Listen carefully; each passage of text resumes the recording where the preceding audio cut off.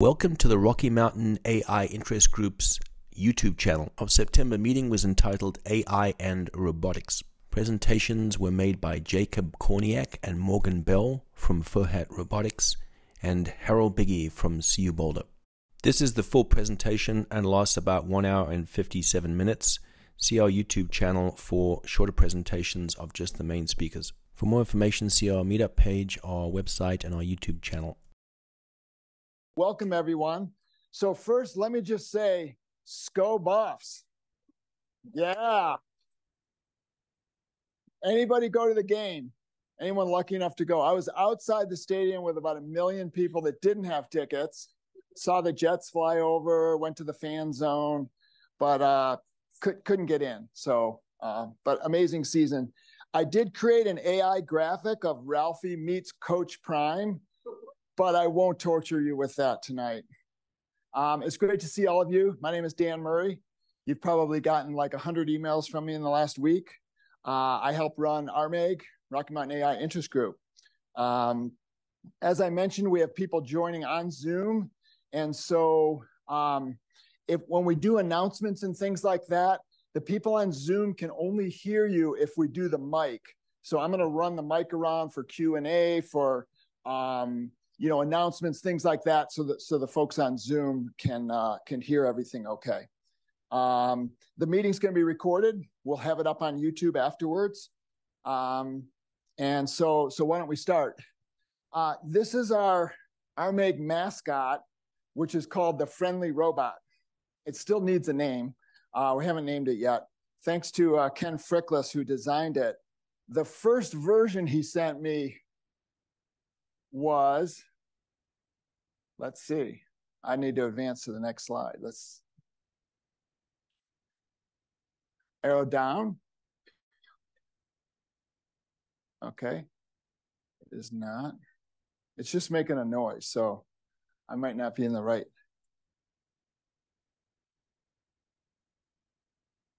There we go. There we go. Okay. So so this was the first version that that uh that Ken sent me, and it didn't seem so friendly, right? I, I nicknamed I nicknamed this one Oppenheimer.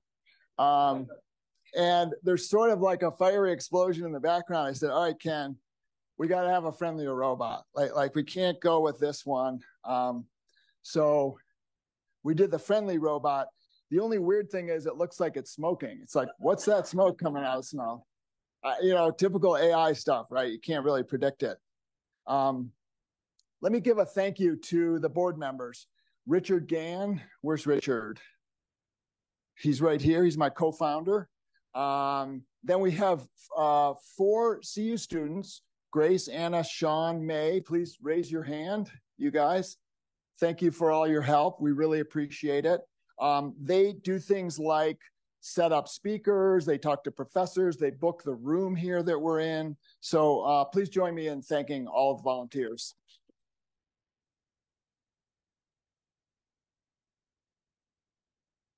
Okay, I also want to thank uh, many of our supporters. John Backus and Mark Gross help uh, support the group. They help us get this beautiful space. University of Colorado and the Roser Atlas Center, you know, graciously let us use this beautiful room. Chris Byrne has been helping us. Um, uh, Ken Frickless, as I mentioned, did the logos or the uh, uh, mascots. He can't be here tonight. Um, Chris Byrne, Chris, raise your hand. Uh, thank you, Chris, for all your help booking speakers. And then you're going to meet Laura, Chris, and Eliza in a second. They each run the uh, uh, the RMAG subgroups. So uh, please join me in thanking our supporters.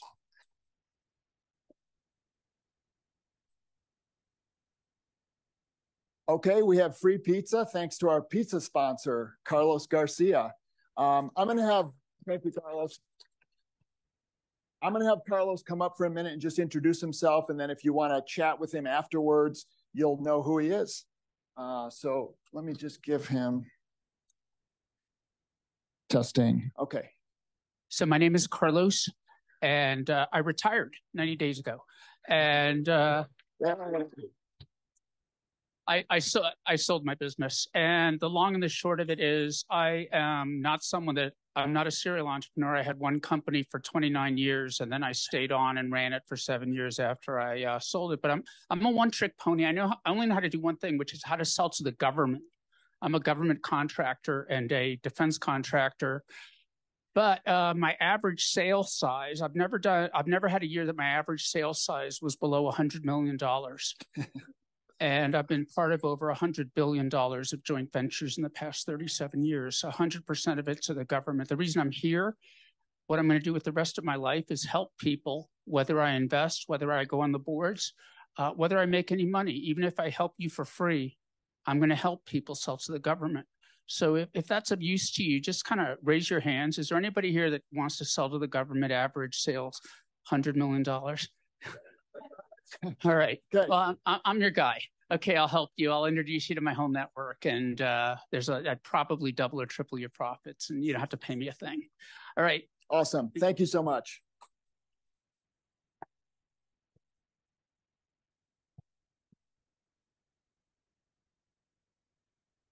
Okay, upcoming meetings in October, we're going to have the ethics of AI. We booked two speakers for that.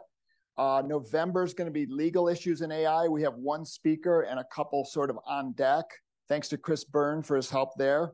And then December 11th, it's going to be, we're sort of working on. We have two potential speakers. It's going to be kind of surviving in an AI paced world. Like, how do we all sort of adapt and adjust and change what we're doing with this massive number of tools that's coming online. Like, I don't know how anyone stays up with it. And so we're going to have some speakers kind of talking to to uh, to those kinds of things.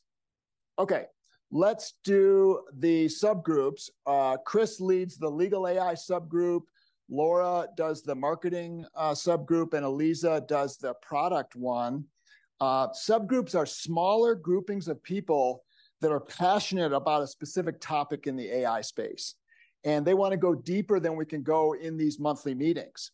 So we're gonna we're gonna introduce each of our leaders, and then we're gonna have a QR code where you can get more information about those subgroups if you're interested. I'll tell you, these guys are really passionate.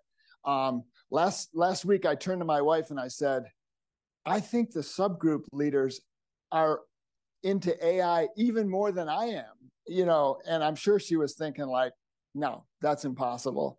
Um, but but no, they're they're super into it, and it's been great to have their their help and involvement. Um, by the way, hello to my wife if she's on Zoom. Okay, so first, Chris Brown, give you the mic here. All right, thank you so much, uh, Chris Brown. Uh, I'm an attorney in legal AI. Uh, I believe AI is going to fundamentally changed the legal industry, which is why I created this subgroup. Uh, we meet once a month to talk about copyrights, privacy, just issues in AI, and also to explore use cases for lawyers. Um, our next meeting is September 28th. And if you want information about that, scan this code here. It'll take you to our link tree. And tomorrow morning, we are emailing uh, out the details about our September 28th program. So if you go there, you can type in your email and we'll send you that information tomorrow. Also on that link is uh, our LinkedIn group. We've got over 100 members on the LinkedIn group sharing content, news, and information about legal AI topics. Um, and I would just encourage you, even if you're not a lawyer, join us. I think I might be the only practicing lawyer in the group. I'm the only weirdo, I guess. Like everybody else in there's just like normal.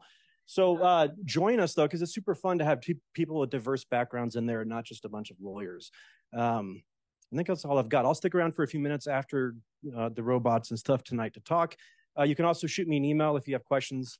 Email us chris at pixellaw.com. Thanks. Cool. Thank you, Chris. Um, appreciate appreciate everything you do for the group. Um, okay, next, just in time, Laura just walked in the room. Laura does the marketing group, and I'll have her do a quick intro. Awesome. Thanks. Hi. Sorry to be late. What I miss? All the good jokes. Um, so AI and marketing, we have met twice. We have a great group of folks who gather. Um, we cover topics um, that that we've actually we've actually gone beyond marketing and talked about um, job loss, but the focus is intended to be marketing, and we're going to be doing a lot more show and tell going forward. And um, so we, I'm excited for others to join us and learn about different tools that you can use in, you know, whether you're um, creating an email newsletter campaign, doing SEO, um, or uh, maybe a social campaign. Anyway, um, join us there or email me, Laura Rich5 at Gmail. Thanks. Cool. Thank you, Laura. If you didn't get any of these, email me and I'll, I'll put you in touch with the with the subgroups. Okay. Number three, last but not least, Eliza, she runs the, the product group. Yeah, definitely. Hi, I'm Eliza. Um, I currently work at Workday. I'm a product manager. Um, but this group is for folks who are interested in product development. So I know product can mean a lot of things. Um, we're really focused in software products right now. So this is intended to be really hands-on. So we've actually, we kicked off last week and met on Thursday, and we've got another meetup this Thursday. So last week we talked about fine tuning and had a founder, uh, Mark, come in and talk about his product. And so the idea is we demo and then kind of have a roundtable discussion. So don't feel like you have to be an expert in whatever the topic is, but we're kind of unpacking topics in a greater depth, I would say.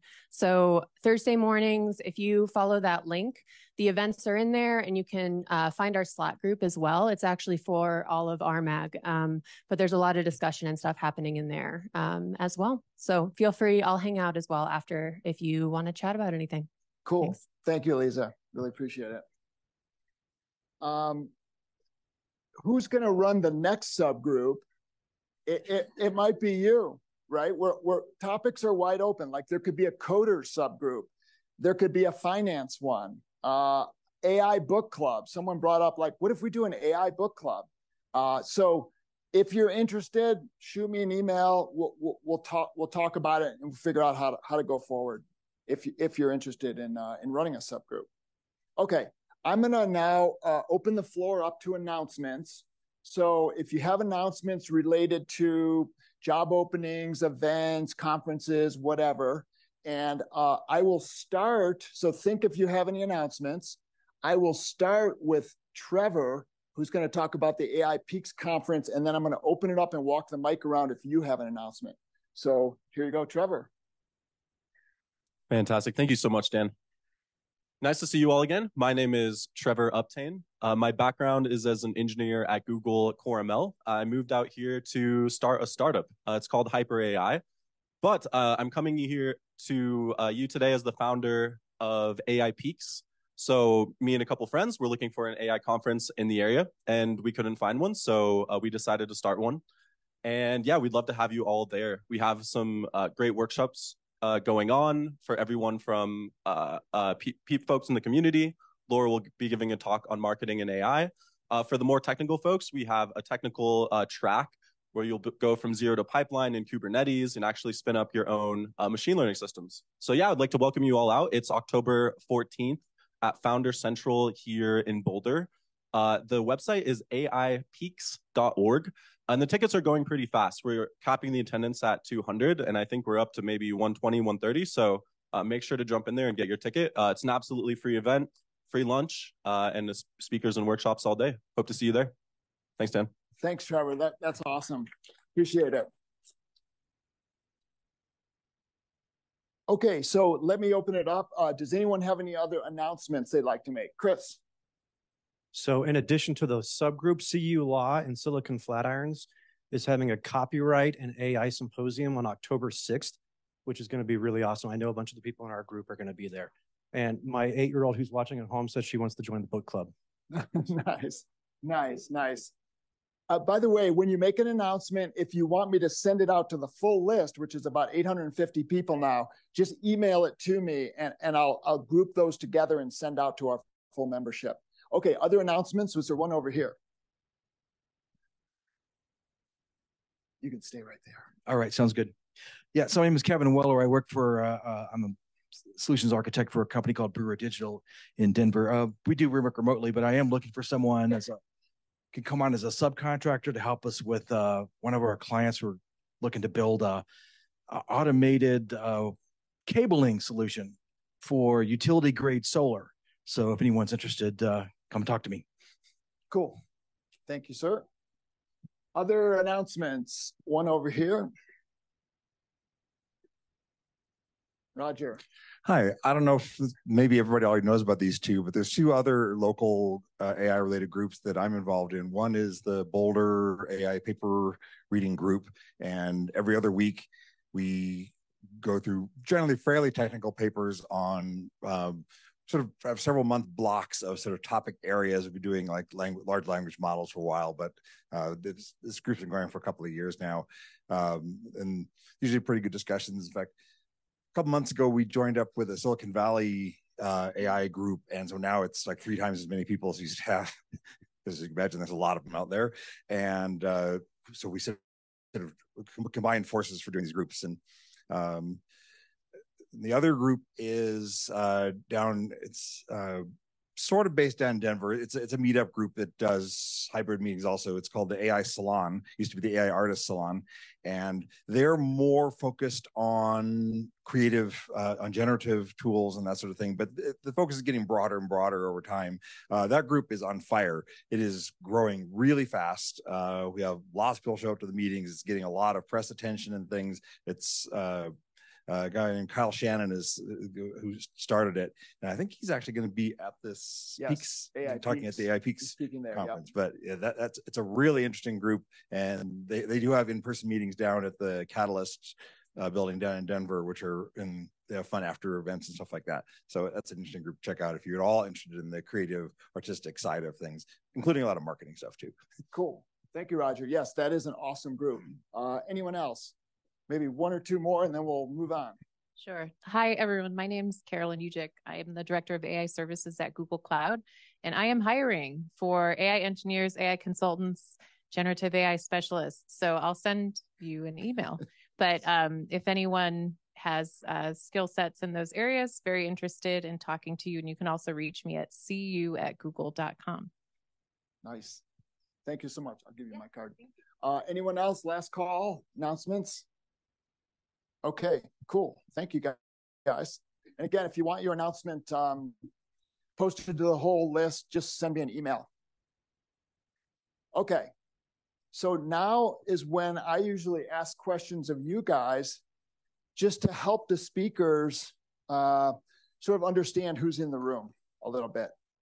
Um, okay, so how many people, this is your first RMA, RMAG meeting? First, first one. Okay, how many people have been to a meeting before? It's the rest of the people. Okay, how many people just happen to be walking by the building and smell pizza? All right. Uh, how many work in the AI field? Wow, that's a lot. Uh, how many are in academia, education? Okay. Industry? Anyone from government? Nonprofit? And how many people actually stayed home tonight and just send an AI robot in their place? All right. How many people are coders or software engineers? Wow, that's a lot. Uh, how many are working on a product that interfaces with or incorporates large language models? Wow, fantastic. Uh, any entrepreneurs in the room? Nice. Entrepreneurs doing AI related startups. Great. Is anyone working in the robotics field? Okay, awesome. Uh, how many people own at least one robot themselves? And I'm not going to ask for any details. Um, how many own more than one robot? Wow, that's cool. Uh, how many people have used ChatGPT? That's everybody, right?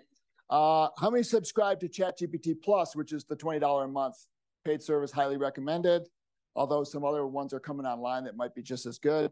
Uh, how many have used ChatGPT's advanced data analysis, which was formerly called Code Interpreter? That's a very cool tool. How many have used ChatGPT plugins? Wow, that's a lot. Uh, how many use ChatGPT at least every week? Most of the people here, several times a week. Anyone use it every day? Is anyone using it right now instead of listening to this meeting?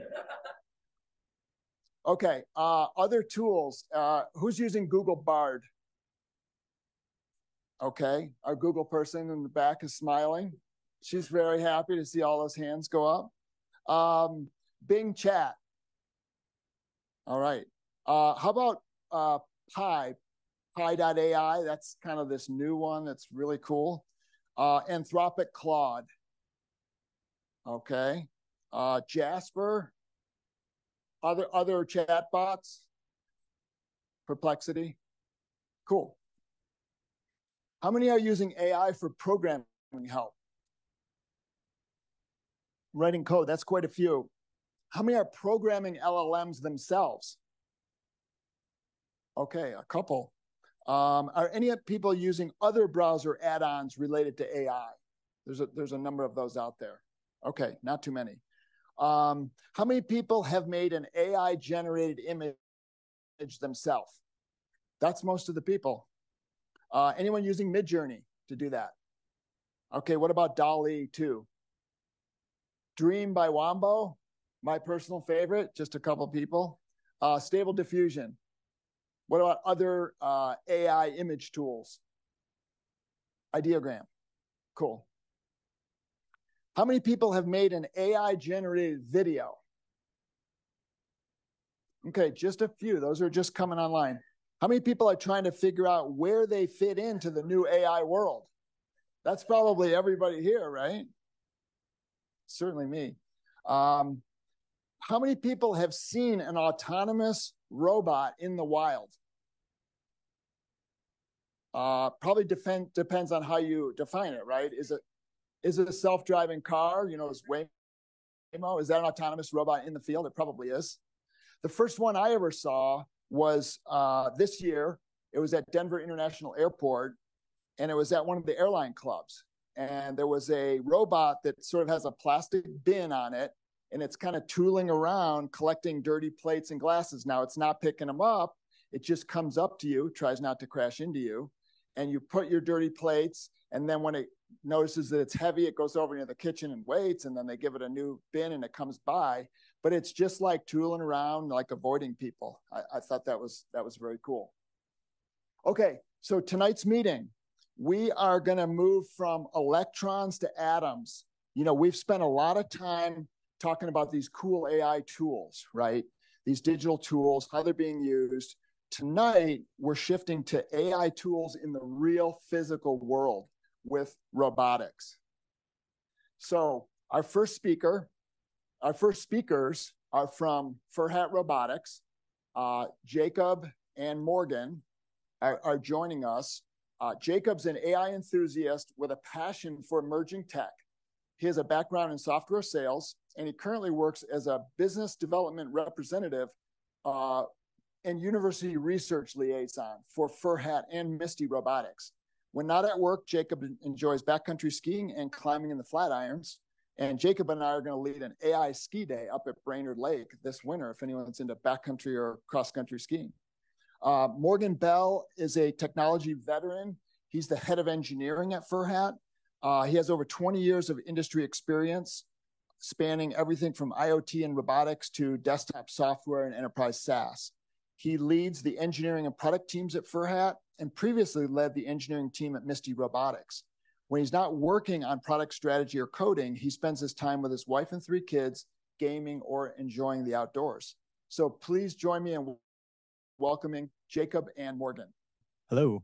Thank you, everybody. Uh, again, my name is Jacob Korniak with Furhat Robotics. Uh, it's really nice to see everybody today. Uh, I was here a few months ago, it feels like now. Um, and so much has changed, right, in the past few months. So, really appreciate your time. Thanks so much for joining. Okay, so when we think about the robotic revolution, um, I think most of us maybe would have thought it would have been happening by now, right? Uh, Self aware robots becoming our overlords, making us work in the tungsten mines, right? That, that's what I think when I think of uh, the robotic revolution. And the reality is, is obviously that hasn't happened yet. We're still all here in person, I believe, uh, watching and, and, and learning about robotics and AI. So it hasn't happened yet. But the reality is, is that the robot revolution is already happening and it's been happening for decades, um, but maybe a little less bloody and dramatic as we may think. Um, for a long time, we've thought uh, about where these robots fit into our society, what their role is, uh, how they're portrayed in media, what they do, what are the ethics of them, what are the limitations, what are the strengths. And I think so many times we think about how robots are applied today. You know, your car was made by a robot all the electronics in your hands were made by robots. Um, most of our modern technologies and convenience today are thanks to robots. But the reality is, that engineers uh, face the same problems today as they did 50 years ago when we think about these robotic systems. I think when I when I was thinking about this meeting today, you know, again, as as Dan mentioned, we're really high level on on really what we think um, on, on, the AI side. So I wanted to take a step back and say, you know, what is a robot? Um, and so at a high level, a robot is a machine that is designed to accomplish a task. But you might be thinking now, Jacob, that's great, but is my calculator a robot? And the, and the reality is, what robots really are in our society are machines that use their programming to make decisions if there is a coin uh, that falls on the ground, right, and I would like to pick up this coin, I need to go through three major and high level uh, processes to pick up this coin. The first, my eyes need to see the coin that's on the ground uh, and communicate sensory issues up to my brain, where the coin is sitting, how it's reflected in the light, how, how what the depth of that coin is, how it's sitting. Is it, is it, is it up flat? Is it, is it down on its side? Next, I need to send that sensory information to my brain, and my brain needs to make a decision. The decision to, I need to go pick up this coin. Finally, my brain uses that decision, uses the sensory information, comes down, uh, and sends the signals to my muscles to pick up the coin. Now, this may seem like a very simple process to us humans, but the reality is there's so much going on uh, when we think about robotics. The robots need to have sensors. They need to understand where what what what are we talking about? What are the data of this of this of this coin on the ground? What am i looking at? How again how is it sitting? What are the edges like? It needs to have control systems uh, to make these decisions to process process all of those sensory data and make those decisions and finally needs to have end end effectors um, things that actually go and pick up the coin and, and as you may may imagine there's so much that can go wrong with that um, whether that's on the sensor side the control system side or the end effector side. Um, today, when I was driving here and getting changed for this event, I looked out, it was 60 degrees and cloudy. Uh, so I put on a sweater and, and, nice, comfy clothes. And all of a sudden, here I am walking uh, into the Atlas Institute sweating, right? And so my control systems made a decision uh, based on my past experience of what 60 degrees and cloudy feels like. Uh, but the reality is, is you're not always right. And that's the problem with robotics. Uh, that again, the engineers are still facing those problems today. Now, when we think about the history of robotics, um, industry is really where robot systems were born. Picking up and moving heavy, uh, really heavy metal objects um, is, is what they're kind of good at, right? So the first major robot, uh, and what's considered the first one, was uh, the Unimate robot, which is a, a GM production line welding robot uh, that was put into place in New Jersey in 1961. Super basic. Um, it weighed, I think, two tons. It was massive. Um, it made very, very small and calculated, um, um, you know, welding, um, welding interactions. And, and, and now today we fast forward all sorts of uh, systems later and, and they're making our cars. And obviously a lot happened in between here. Um, but, but these robots are in the world today. They're making our cars, they're making our electronics. They're using all those three sensories data and all those control systems to, to do these tasks.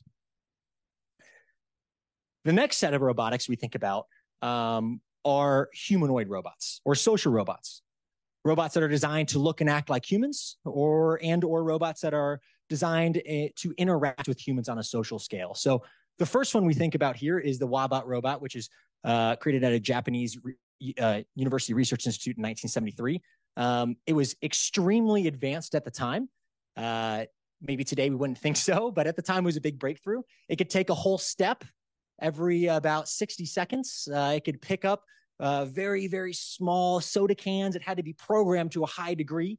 Um, it could do a lot, but what we learned from the Wabot robot is that it could do a lot, but not very well. Um, it could do everything, but it had to be programmed. It was extremely manual. Move forward to the Kismet robot, which is at MIT in 1990. That was really considered the first social robot.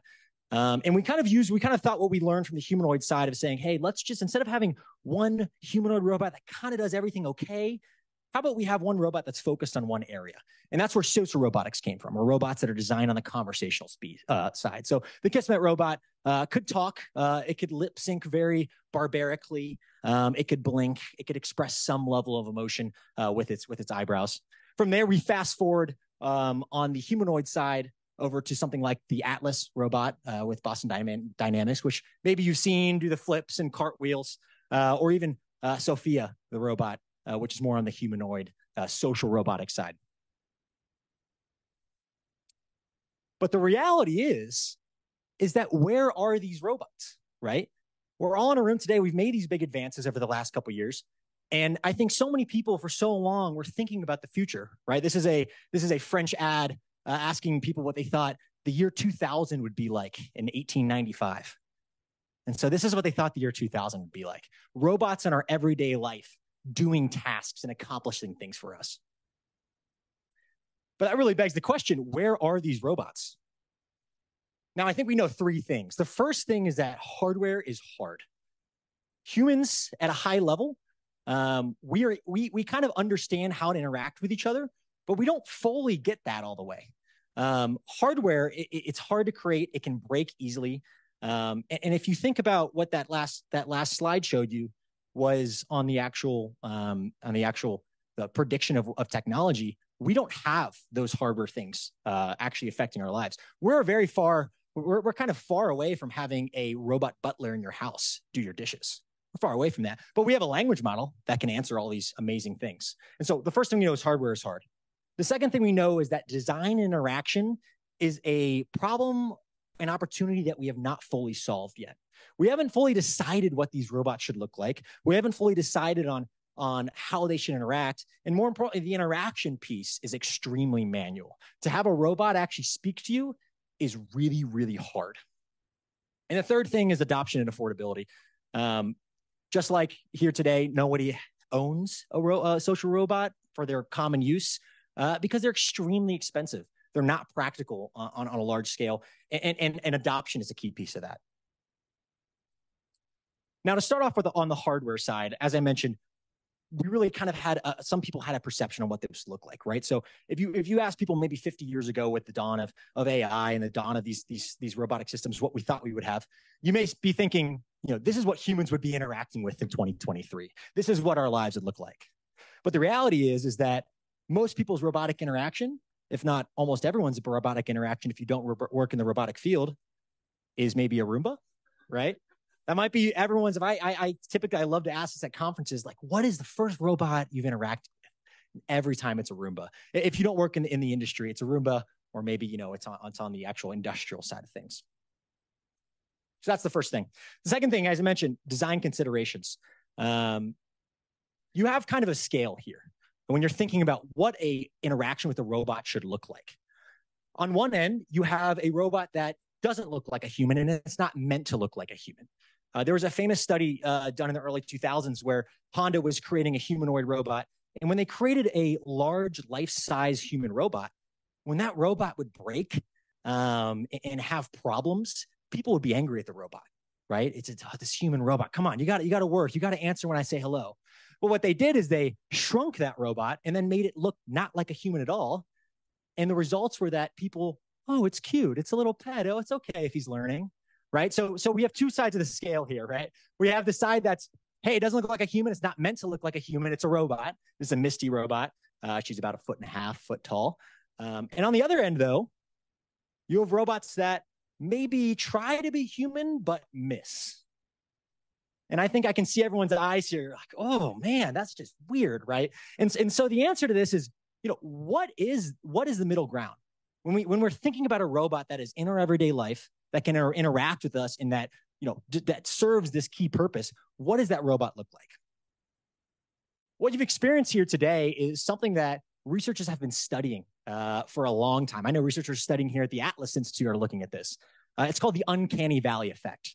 And so i'm interested for this if with a show of hands these set of faces you know least human to most human I'm just going to have you raise your hands uh, what section you find the most creepy. Okay, so 35 to 40%. Do you find that that group the most creepy? Okay, a few.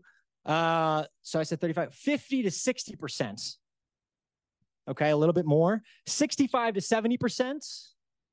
A little bit more. 80 to 95%. A little bit less. Okay, and then 100% is obviously human. Great. Yeah, yeah. Sorry, what was it? Okay. And so, yeah, what you experience here is called the uncanny valley effect, which is a term to describe this relationship between uh, the actual human likeness uh, of this being and your affinity towards it, uh, how creepy or likable you find it. And as you see here in, in, in the uncanny valley effect, there's a steep drop off, actually, a valley that occurs typically um, between 60 and 80% uh, on average. And so when we're thinking about robotic systems, where do we want to be on this? Uh, what do you want to interact with? If you're interacting with Spot, which I would say is a little bit more on the industrial robot side, it's not really meant, even if Spot talked, you wouldn't maybe find it creepy. Maybe some people would. Um, but if it's a little bit too Spot, you put a face on Spot and maybe had, you know, some sort of mesh uh, interaction face, it might they might break more into the uncanny valley effect because it's trying to be human. So so that's kind of something that roboticists think about is, is how do we solve this uncanny valley effect and, and, and a something that I don't think we've all decided as an industry. You know, everybody takes obviously different uh, approaches to this problem. The next thing we think about uh, when it comes to the problem with the actual robots in our not in our lives is adoption. And, and, and for robotics, what we like to think about is the next interface. So we, as we move through the years uh, and think about the, the, the, interfaces here, we've gone from computers to obviously to obviously handheld devices, maybe some VR. But what is that next interface? And we believe that next interface is human, uh, or excuse me, is a is a social robot. And why do we think this? Well, we think this because for thousands, hundreds of thousands of years, we've been um, honing this interface. We, we've we've understood as a, as a as a race how to interact with this. You don't need to be taught how to interact with a human. Um, it's innate. You walk up and you do it. And now, obviously, there's some uh, there's some there's some problems there, right? If you've ever been on maybe maybe a bad date uh, or had a hard conversation with a coworker, uh, th- there's it's not always perfect. Um, but what we do understand is we know how to have this uh, interaction. So why don't we start building interfaces uh, to think about this interaction and incorporate this technology? And so that brings us to Furhat today. So here, here's just a quick video uh, of one of our um, use cases here, which is a hospitality based setting. See if the sound works. Can we turn it to the? Thank you. Yeah, I figured we turned it off.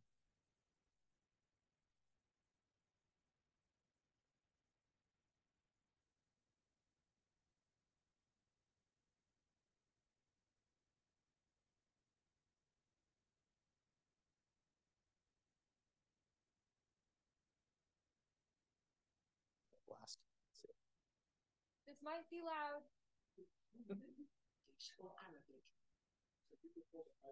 I could. Yep, I think that's what we're gonna have to do. uh, sort of here. Okay. Sorry, y'all. For today. I would like to check in, please. Great. I can help you with that. Do you have the confirmation email, the QR code with you here? Uh, yes, here it is. Thank you so much, Mr. Anderson. Your room is on the seventh floor with a great view of the city. You are now checked in and the app works to unlock your room. I can see that your reservation includes three other people. Are you here with your family? Uh, absolutely. We're here with our kids. Lovely. We are really happy to have all of you stay with us. Uh, thanks. Uh, where are the elevators? No problem. The elevators are just here. To my left. Oh, and can you recommend any good sushi restaurant around here? Yes. I really like a little place called Osaka, which is about a 10 minute walk away. Here is a map. Or would you prefer me to book you a taxi? No, I like to walk. Fantastic. Can I help you with anything else? No, that's it. Thank you so much. Have a lovely day, Mr. Anderson. I am here to help at all times. Goodbye. Goodbye.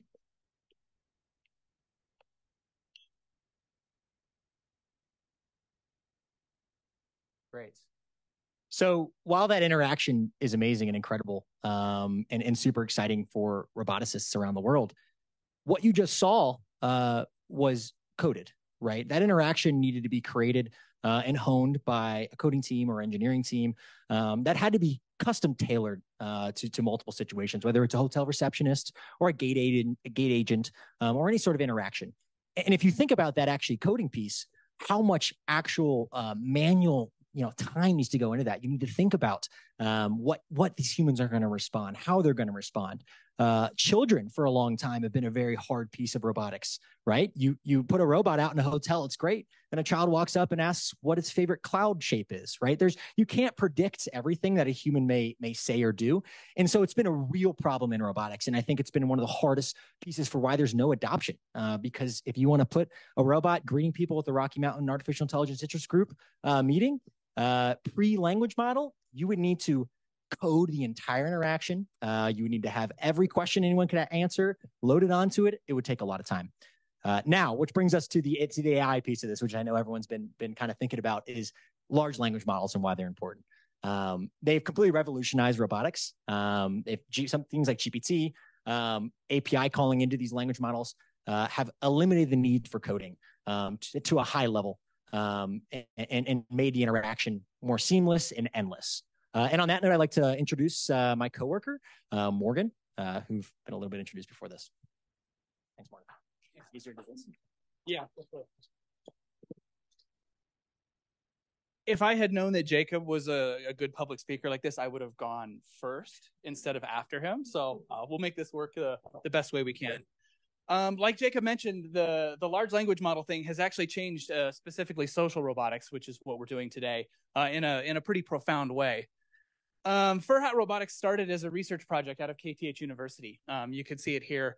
Um, what we learned at the time really was that we didn't have good tools to do research into social robots, right? No such tool existed. So we had to make those tools. And, uh, and so we did as a company. We put together a couple of different robots. This was the first, uh, the first Fur Hat. This is Gen 1.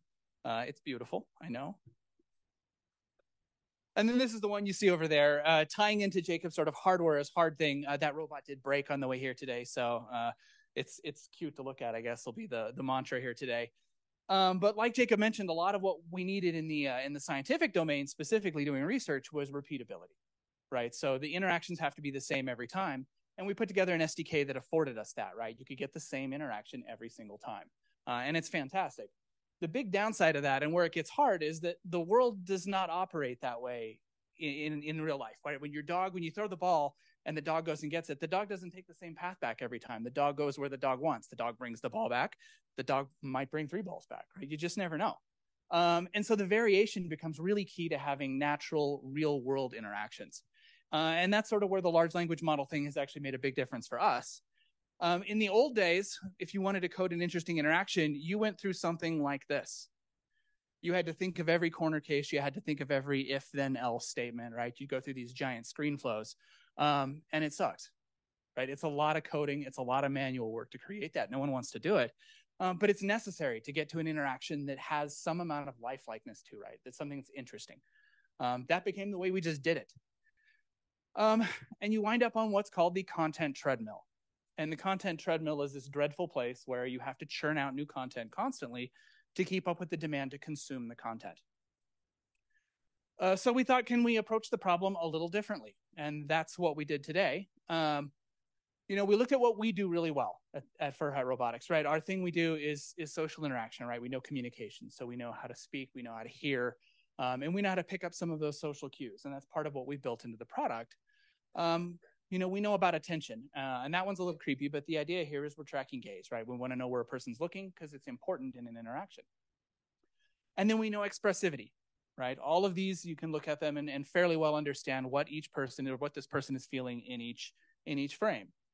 So we stepped back and thought, let's let's just see what we can do to work with these things and focus less on that content piece, or a little less on that flow.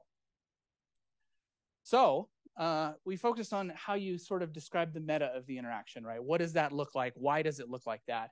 And less about designing the content. And what this is going to get into here in a second is just prompt engineering, um, which we're probably all familiar with at this point. Um, it's a big groaner, but we are leveraging Chat GPT extensively, right? It's uh, it does a fantastic job, specifically in terms of latency. Um, there's not a whole lot that's quite as fast as that, so we're using it extensively to try and and uh, help generate content, right? When the content was otherwise hard to get. Similarly, you wind up in the same place where you wind up with patterns and templates, the same way you do in programming, right? You find that an adapter pattern or factory pattern become these common tools you go to all the time because they're the way you create standards in the outputs you create.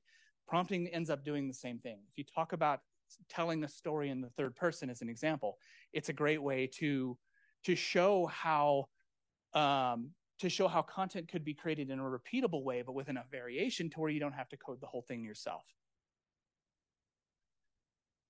Um, we're using sentiment analysis pretty extensively as well to try and understand the tone of the message and to understand exactly what the robot needs to understand from the conversation. So when we go through these dialogues with the robot, the idea is there's a, a two-party exchange and we need to understand what the feeling of the user is and what the feeling of the robot is in response to the user. So there's an extensive amount of sentiment analysis that goes on in the back end. Sometimes that's done in, in GPT, sometimes that's done in a statistical model for doing that. It, it depends on the kind of text you're analyzing, but we do it all on text currently.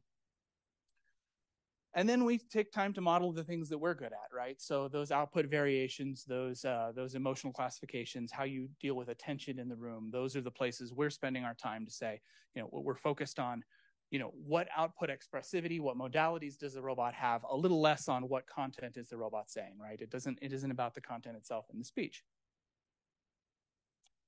Uh, that doesn't mean that everything is working. Not even close, right? Well, we've got the variation, the variation we needed, right? We needed the the the interactions to come with a, a varied uh, array of outputs. Um, what we still have are things that just don't work. Like hallucinations and LLMs are a common problem, and they're not really well resolved. If you make a storytelling robot, it's fine. You know, lean into it. Uh, in cases where you need the robot to be a lawyer, uh, it's it might be a pretty bad lawyer. Uh, the appropriateness of the content, we haven't solved that either, right? The robot can sometimes say things that are just totally inappropriate or wrong. It happens, uh, and we're still dealing with that. And we're not going to invent those guardrails, right? There's there's people in the industry who are going to do that. Uh, we're really consumers at that level. Um, there's a lot of built-in barriers. You've all heard it say, as a large language model, I don't have an opinion on that, right? Uh, you know, you have to work around some of these kinds of things, and they're built in by the developers on purpose. Um, one of the harder ones for us actually right now is keeping up with the developments. You know, I think Dan mentioned this earlier. Things are moving so fast in this industry that I can't even take Falcon off the shelf and, and play with it, right? I don't have time. Uh, it's a huge deal, right? There's just no way for us to keep up with all of the developments. There's not enough staff to do it. So as we go through and see how the robot interacts with people and how it uh, you know it interacts on speech content how it creates new unique content in these conversations um, we're really just not even scratching the surface. There's just not enough people to do all the work. There's not enough time to do all the testing. And that's really where we are today. Um, we're at that moment where we would have showed off the robot and we would have gone through like a fancy demo. Um, however the robot didn't uh, didn't make the trip successfully today. So i think jacob has a video. Is that right? No that went away comes down. That's all I had actually then, since the video didn't make it either, the robot didn't make it. Uh, we can probably talk about it after the fact or answer questions. Ooh.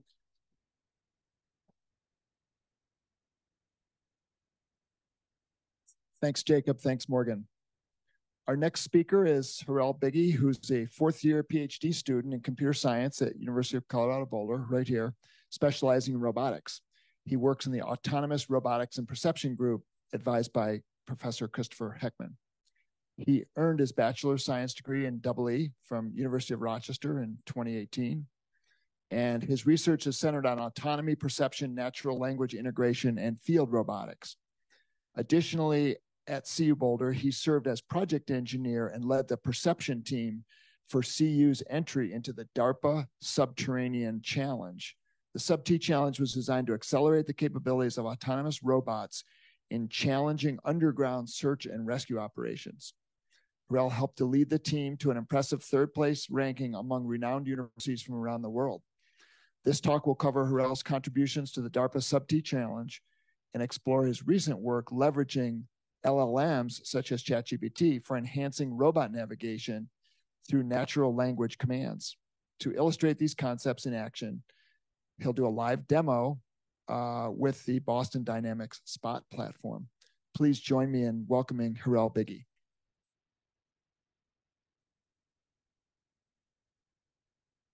Thank you for the nice introduction. So, um, as Dan mentioned, I'm going to be going over um, foundational models and how we can use them for robot navigation, navigation, specifically on that spot robot we saw that um, we'll bring into the room after this talk. So to get started here, as Dan mentioned, I was a part of the DARPA Subterranean Challenge, and here you can see myself and some of our teammates as we prep a test deployment out at Edgar Mine near Idaho Springs. So that challenge was really designed to simulate search and rescue scenarios. So we had two different types of robots we sent out there: the Boston Dynamics Spot, um, and then the ClearPath Husky, which we can kind of see the back of it right there. And it was supervised by a team of humans, but mostly autonomous.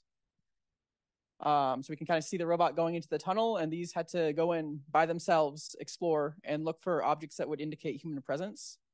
So, what exactly do I mean by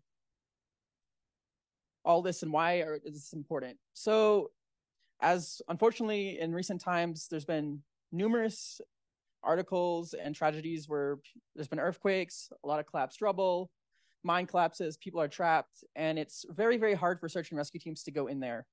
Um, putting other lives at risk to save another life is what people do on the daily basis, but that comes with inherent risk. And one of the areas that uh, DARPA really wanted to improve is situational awareness. Can we send a robot in to get an idea of what's going on before sending another human in to make sure that it's both safe to go rescue someone um, and to find the people who are in the most immediate need of danger of uh, rescuing. So, how did DARPA structure all this? They created these courses um, ranging from urban underground environments, tunnels, um, caves. And there they had this group of people known as the pit crew. For us, that was five different people on uh, the team and I. Um, there was our robots that went in that we saw in the other video, uh, modeled by Star Wars robots here. Um, and then there was one human supervisor who will become very important. They could kind of monitor what was going on and override any kind of like high level commands that they could see on the monitor, as you can see here, um, if there was communications available. That was another key component to this challenge. There's no Starlink underground. So we had to do all of that stuff ourselves, deploy our own Wi-Fi networks and everything as these robots went out. So I just want to highlight a few things at the final event. We at the top we see one of the Husky robots I mentioned. Um, there's the full team in the next image over. Um, as you can see, we also were competing against a bunch of universities and ended up taking third place against teams like NASA's JPL, um, CMU, and a bunch of other world-renowned universities. So this was kind of a huge deal for CU.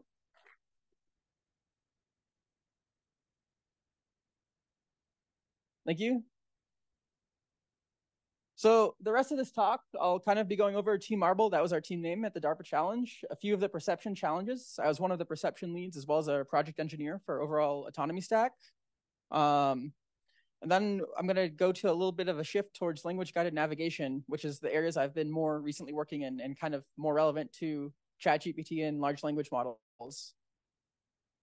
Um, so let's get started a little bit with how do we perceive on robots? That's one of the big things we need a robot to do. It needs to understand its environment so then we can do actions in that environment. So for us, uh, we had this sensor head that we developed for spots and huskies using a variety of off-the-shelf sensors. So starting with these uh, FLIR GigE RGB cameras. So that gives us an idea of what's going on in two dimensions in color in the environment. Um, we had these uh, LiDARs. So there's two LiDARs in front here. Um, PicoFlex flash LiDAR gives you kind of depth 3D depth information. Uh, the Ouster LiDAR does the same. And then we had um, an inertial measurement unit to kind of get an idea of the roll and pitch and yaw of the robot. So what does all that look like in reality? Assuming we have this little spot here, um, it's outside in a courtyard. So those are the views from three cameras, the left, front, and right. But what does that look like um, as a point cloud? So that's what the, some of those 3D sensors, such as the Ouster, give you up top, those little points. So you can kind of see the trees being demonstrated up there. Um, you get this 360 degree view of the environment, and it's pretty dense representation. Uh, so that's what we kind of leverage a lot to do our navigation and planning inside the environments. So why were we sent into the environments? To find objects that would indicate human presence. Uh, these robots were sent in there to look for things like a survivor, um, climbing rope, backpack, anything that could indicate someone had been there and probably needed rescuing. Uh, there was also some localization for things like a cell phone that was using Bluetooth. And then there was a CO2 gas to mimic kind of a gas leak or something like that. Um, so what does our human supervisor see? This is an example of the interface that we used uh, that the guy standing up front of the course using a monitor was looking at. Um, we can see that there's individual robot maps on the side. So those are generated off those point clouds that we saw, which is giving you kind of a three-dimensional idea of what these underground environments look like. Um, we had a merged map in the middle. So we had four robots out on the course at once. So that would aggregate all the maps into one view to give an overall picture of what everything looks like. Uh, and finally, all the objects that were being detected on board autonomously came up as a list, and the human supervisor could confirm what they were and what they weren't. Um, and then they had the ability, assuming there was communication, to override anything of the autonomy stack that was not operating correctly.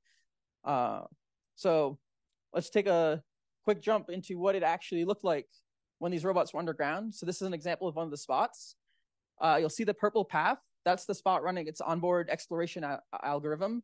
So it's trying to explore for new areas in the environment while avoiding any terrain that it can't go over. And while it's doing that, it's looking for all of those objects I just described. Um, so kind of one thing to keep in mind, that video is at about 5x. So the robots were not moving that fast, but it would have been a long video otherwise. So what, how big were these environments? Well, they were on the scale of a kilometer or so. So here we had our four robots and the path they took at one of the final DARPA competitions. And you can kind of see these were like pretty much mimicked real environments, such as a subway station, tried to mimic a New York subway station.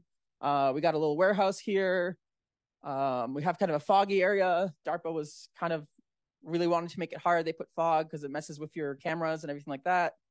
So we did really well at the challenge, as I mentioned, third place, but there was a lot of things to be improved at the challenge, the top scoring team only rescued about 50% of the artifacts, which means a lot of room for improvement. You don't want those odds if you're the ones out there needing rescuing. So, one of the ways we think we can improve that is jumping into um, using large language models. Uh, that human supervisor interface I mentioned is great if you are getting a PhD in robotics like I am. Uh, but if you're not, using one of these robots would be really difficult with that interface. So um, that's why we think that doing something like natural language is far more uh, appropriate for this. So, for example, we could tell the robot to go down the hallway until you find the backpack and then turn left. Um, and that command would let it just execute there and do that rather than clicking like a little waypoint here, move the waypoint as it progresses, which is a really slow process. And when time is of the essence, you really want something more efficient. So we were able to do this leveraging chat, uh, code generation abilities of ChatGPT. So you can see here the robot is looking for something to do a kickflip on. In other words, realize it needs to do a skateboard. Uh, you can do something a little bit more helpful, such as if firefighters were using the robot, they could look for a fire hydrant. Um, we can tell it to go to specific people, like distinguish the person's on the table as opposed to a person who's not. Uh, we can specify the color of an object, uh, look for the white fan, and have the robot navigate to there. And this is all being done using ChatGPT as the backend to generate code based on the natural language prompt. So, what is one of the key challenges that faces robotics and doing this type of navigation? It's called language grounding. So, we have the sentence here go to the blue bin on the left of the red backpack. And everything in that sentence needs to be associated to either the physical environment or an action on the robot. So, for example, we need to associate the word blue bin with that blue bin in the actual image. And red backpack needs to be associated with the red backpack. Now that looks pretty simple if we as humans are doing it, or maybe you could run an object detector and do that. But the big, big challenge comes with the ambiguity in language. Uh, so taking an example like this, go to the chair on your left. Uh, one could think it's leftmost chair, or it could be this chair. But uh, that really depends on what your intent and specification was, which is one of the areas we're actively trying to resolve to make sure robots go where we want them to go. So with that in mind, um, I'll dive a little bit more into a contextual example here. Um, so we have the sentence, go to somewhere where I can watch a movie. And this is the scene. So we want the robot to end up going to a chair or something like that where it can see the movie. So as I mentioned, this is being done using code generation. So this is code right here is all being generated by ChatGPT. So it's looking for a TV or a screen, and then it's finding all of those. And if it finds nothing, it will of course return an error. And then it's looking for anything that relates to a couch, chair, or anything like that. And then we are trying to find the closest one to the TV. And that's where we end up sending the robot to. So we have the little video here going.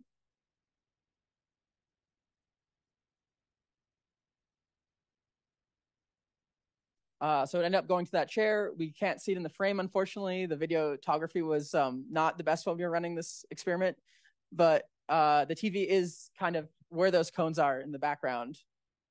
So I'd like to thank um, all of the collaborators in the DARPA Challenge, um, and especially my lab, the Autonomous Robotics and Perception Group, uh, as well as my advisor, Christopher Heckman. Um, and now I think the fun part is going to happen. We're going to actually be showing the spot and doing some of the live demos. Um, and while we're setting that up, I'll show a few more commands from our um, system.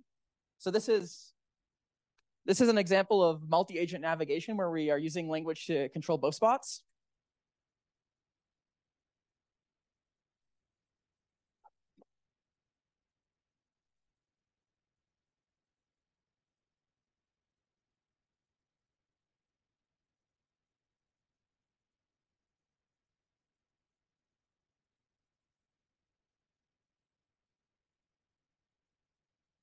So Dusty, if you want to walk the spot around the room just a little bit so people can get a good view of it. Um, I don't, Dusty wasn't introduced, but Dusty is the lab manager in our group. Um, very nice of him to help out for this.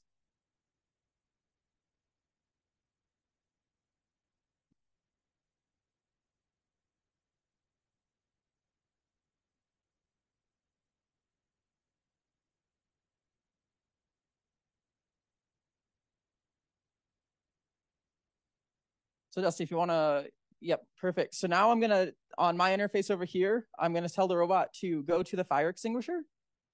Um, and this will just take uh, a little bit. It takes about 30 seconds to a minute. That's one of the limitations of these methods. Um, it's a combination of how long it takes to query ChatGPT, go over the internet. Then we have to send our images back to a server to process. Um, so this is actually running on a 4090 back in our lab. Um, so part of it is also we're using a cell phone hotspot, so it just takes it a little bit of time. uh, CU's wireless doesn't play well with our robots for some reason. um, so Dusty, if you want to send the robot,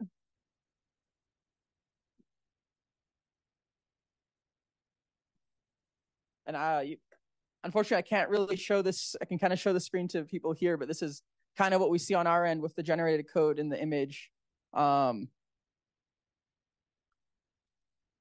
so that's kind of what the robot can do. Um, we could try to send it to a few other things, maybe the black cart next to Dusty.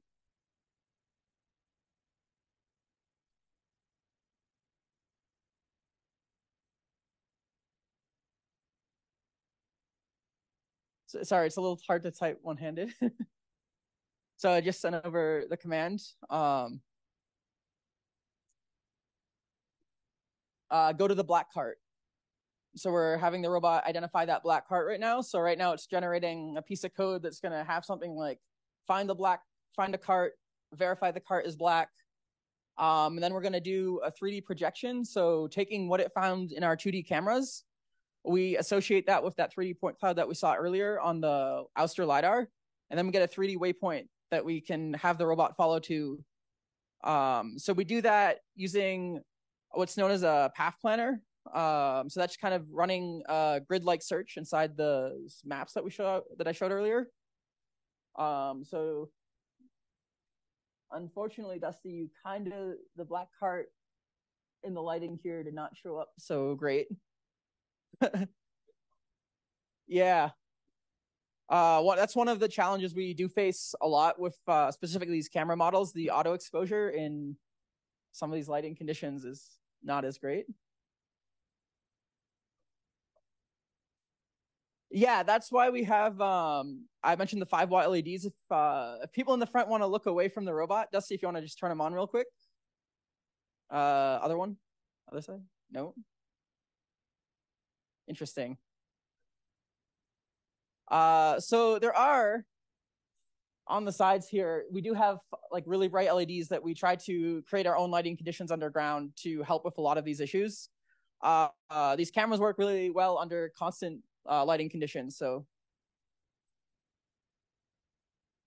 and as um, the previous speaker mentioned, like hardware is really hard. One of the reasons we went with these cameras is we found that USB cameras were just very, very unreliable, uh, especially underground. The robot would have a lot of shock and vibration, and those USB connectors are quite flimsy.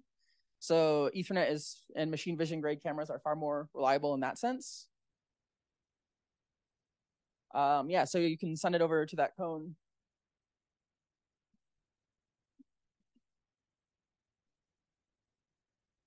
Yeah, and it should uh, figure it out. Yes. Uh,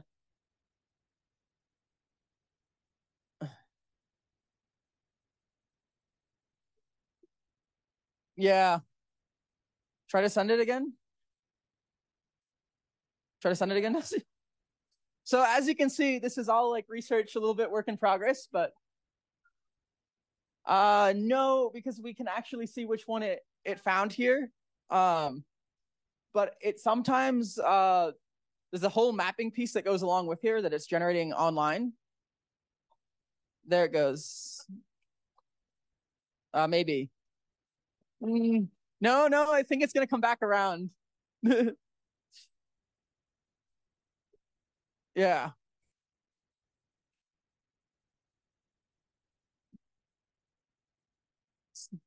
So like I said, uh, this is like this is uh, early kind of work into associating large language models with robot navigation. Um, so we have plans to improve this obviously going forward, but that's kind of what I have. And if you guys want to maybe see the robot, we can walk it through the aisles real quick if there's time for that. So just make sure your feet are kind of away from it. It shouldn't hit you, but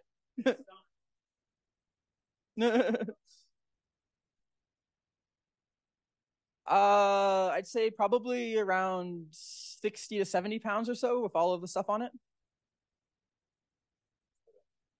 Yeah.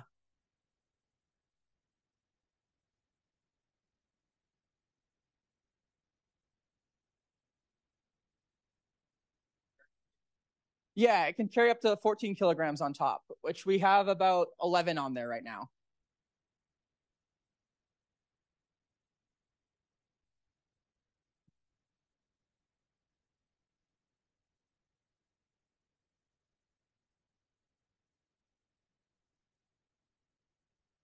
Any other questions about the robot? Ah, that's a good with an academic Question, discount. The base. Cost? Uh, qu- yeah. Question was, what does it cost with the academic discount? It's about eighty thousand for the base alone, and everything from the black part up is, which we put on, is probably another twenty thousand or so. So a hundred thousand dollars or so is around the price tag for all of this. Other questions? Here. You, sorry, you got What's the uh? That's a the what's the thing on the side in the red thing? Question? What's the, what's the red thing on the side? So that's a holder to put the hotspot in, so it can connect to the internet. Yeah, it's held on with uh, Velcro, so it's not. It was a. It's kind of an afterthought. It wasn't needed when it was underground. So raise your hand. I'll bring the mic to you. Uh, let's go, Sean. So you mentioned you're using LiDAR. Are you using computer vision and LiDAR? And can you kind of talk about the strengths and weaknesses of either or and why'd you made that decision? Yeah. So for object identification, um, doing it for the color channels uh, in computer vision is much much easier to do. Uh, you can detect it from those point clouds I showed earlier, uh, but it's much more resource intensive to do it in three dimensions, and color gives you a really big clue as to what an object is. Uh, the reason we use LiDAR is because, especially in underground environments, it's not susceptible to different lighting conditions. So it works in the dark, it's emitting lasers, and it's giving you those 3D points, which you can use to localize yourself off against, which is really hard to estimate out of a 2D image. So the strength of LiDAR is 3D localization, and images is for object identification. Okay, next question. Any plans for applications with fire and rescue or firefighting? Uh, we do have potential work um, in our lab where we are looking at ma- mapping uh, forest fires on one of our projects uh, with the spot. Um, that's work is pretty in the early stages, so I don't have too much more information on it, but I know we're active looking that into future projects. Okay, one question from the Zoom audience. This is from Ellen. How would you improve the performance of LLM navigation? Use local LLM running on the hardware directly? So that's uh, one option. Uh, specifically, we're looking into running uh, Llama 2 um, for those of you who are familiar, Llama 2, some of the quantized models will fit on like six to eight gigabytes of VRAM. We have a Jetson Xavier in there, um, and we could upgrade that to something like the Jetson Orin and potentially run a smaller version of Llama to do this. So that's one of the next steps we're looking into. Okay, next question. I'm trying to figure out what is the state of the art for this technology right now. Let me phrase how that I'm trying to figure that out. So I saw what you demonstrated here and maybe you've seen it, maybe you haven't. So if I was in some military lab where the budget is much, much higher, how much more of a leap beyond what I saw today would I see? So that's hard for me to answer because I'm not in the military labs, but I would imagine, um, I would imagine that one of the things that would be much more advanced is we're right now limited to line of sight with the cameras. Uh, one of the key areas to improve on to do other things is known as semantic mapping, which labs are researching and I'm sure the military probably has better maps. Semantic maps contain rich information about the environment, so you could label all these objects in them, and then potentially have the model reason over those. So then anything it's seen before, it could go back to and navigate towards. Um, they probably also have better GPU resources, so they can create their own data sets and fine tune some of these large language models. So I would imagine they could probably take it up two or three steps, but um, a lot of this only came out since March with like ChatGPT, so I can't imagine they're that much further along um, in terms of being out ready for production unless they had access to large language models before then.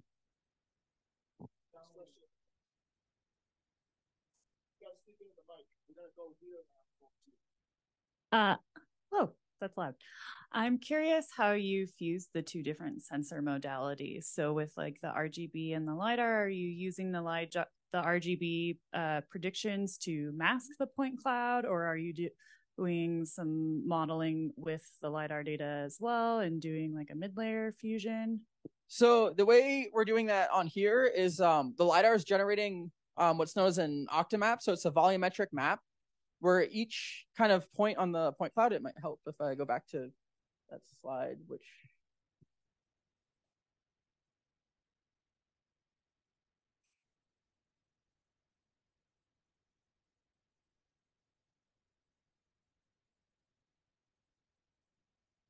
So if you see kind of these uh, point clouds here, when we get to the actual map, every group of points within a 15 centimeter radius is kind of grouped together.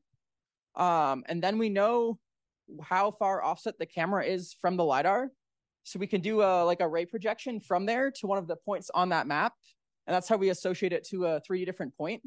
But in terms of inside of the machine learning networks, uh, they're treated independently right now. Um, we have one network operating um, to do object detection on vision, and then other algorithms running on the LiDAR. Um, can we use the microphone? Yeah, I was sure. Sorry. Part two of our question. I just wanted to confirm. So then at the end, you're fusing the two predictions together, and I'm assuming you do it by some sort of like IOU overlap between? Um, so the prediction is only in RGB. We're just Uh, associating it associating it to the yeah, LiDAR at the okay. last step. That was my question. So you're Okay. using it to mask the point cloud to Yeah. figure out where in 3D it is. Okay, cool. Thanks. If you understood that question, you're better than me. um, okay, uh, one other question. In the in the images that they were going to find in the tunnels, there was something on each one that I think you called a localization point. What what is that? Yeah. So to, in order to score at the challenge, that localization point was where DARPA took um, like survey grade instruments used in construction, and they said that's the point you have to tell us where the object is. But they also told us you have to score it within five meters. So as far as I'm aware, us and most of the other teams just ignored that point, and if we found the object at all, we reported wherever we found the object because five meters Yeah. Well, it sounds like a lot of space in this kind of room as you go to the scale of a kilometer and you're trying to predict where you are. It's actually non-trivial to get the robot to predict where it is within five meters, let alone find something else within five meters. So the Gotcha. localization point was kind of not that applicable Good other point. than to the rules. Cool. Thank you. I think you had a question. Can you speak into the mic? How long will this last on a single battery charge? Uh, it'll last about um 75 to 90 minutes, depending on how much you're using the motors. Okay, and by the way, I'd like to broaden the questions too to both both sets of speakers. If someone has Furhat questions, you know, we'll just do full full Q and A. But uh, let, let let's continue, sir. So where time is of the essence and you're integrating these natural language models, uh, what do you think you could get the latency down to in like best case scenario? Um, I would think we could get it down to sub-second responses on queries. Uh, Llama 2, for example, on a 4090 will probably produce uh, similar code to this in right now about 500 milliseconds. So combined with a faster object detector. Um, only challenge is Llama 2 requires fine tuning to re- even approach the performance of GPT right now. Um, Okay. It's just not as robust. I don't know if anyone else has played around with it, but GPT kind of outperforms for coding at least. So you'd need the local model in order to to make that work. the local model or partner with someone with faster API calls, something like that. Okay, thanks. Thank you. Let me do a question from the Zoom audience. This is from Josiah. How would a multimodal network that integrates the robot's senses together improve things? Yeah, so that's one of the things we're actually very curious at exploring. Um, so GPT-4, as many of you are probably aware, is supposedly multimodal, but that hasn't come out yet. Um, so we're very interested in kind of comparing the performance between what we're doing here, which is only giving it the language input and telling it how to operate on a separate network to get the inferences. We assume that would increase performance, but until there's more multimodal networks kind of available, it's difficult to say. Um, the ones I've tested so far, um, one that comes to mind is Mini GPT-4. Uh, just haven't really performed that well with the types of sensors that we've seen on our robot. Um, and I guess to just to finish that off, one of the key challenges for the multimodal networks is the sheer amount of data that you need to do it. These large language models are trained on trillions and trillions of pieces of information. We just don't have those kind of data sets available for robotic sensors right now. Um, do these autonomous robots require continuous broadband connectivity? And if so, how are they going to do remote discoveries and searches? So the natural language based navigation required that. Everything el- that was not running at the DARPA challenge that happened after. That was one of the reasons, one of the ways we were trying to improve. And at the challenge, it was running mostly autonomous. And then we would deploy um, like little Wi Fi hotspots to send a local connection back to whoever was monitoring it. But if there was no connection, the onboard autonomy would take over um, and eventually find its way back to connection. So, kind of the answer is no, it does not require it. But if you want to supervise, you do need it for the language stuff at this point. Okay, let me ask if anyone has a question for the Furhat speakers, and then we'll just swap the mic over. So you have a Furhat question? Okay, so let's start. Why don't you start with with Harel, and then we'll go to Furhat. Um, does do these robots have any way of memorizing the things that they've seen so that you can prompt them to go back to things that they've seen? Like if you say find the backpack and it finds it and then performs another task, can it return to that object? Um, so that goes back into what I was talking about with semantic mapping earlier, where you're mapping your environment with labels of what's in the environment. Um, so for example, you could see all like the chairs here, all the people here, and it could keep track of that in the map.